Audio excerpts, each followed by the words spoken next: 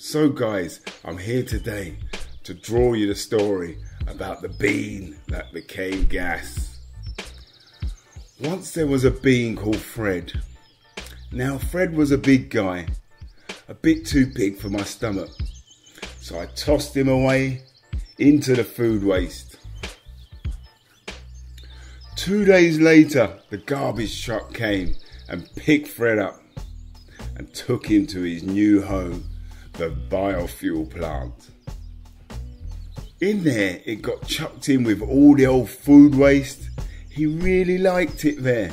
He felt at home. He even made some new corn friends and got to know a piece of pie called Murphy. After a while, Fred and Murphy felt like things started to move. And all of a sudden, everybody got squashed together real hard into a tube.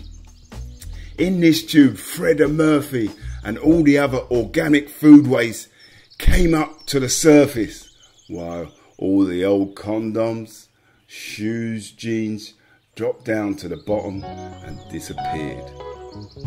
Fred and Murphy found out they were starting to become one mass and they were really happy about it because it meant that they would be closer to each other all the time. They also met some other friends Poppy Applecorn, Rodney Banana, Charlie Eggshell, and many more. They really started to feel like a family. Fred, the Corn, Murphy, and all his new friends sat and chilled out, playing poker, throwing darts, in the big silo, also known as the rotten food chamber. They were really having the time of their lives, and every day they felt they were coming lighter, lighter, and lighter until 18 days they had transformed into gas. Yay! Yay! Said the friends when they flew up into the air and down the tube and into the can. They lived in this can for a while and shared the space with poop gas until one day a car came and picked them up, put them in the tank, and then drove off.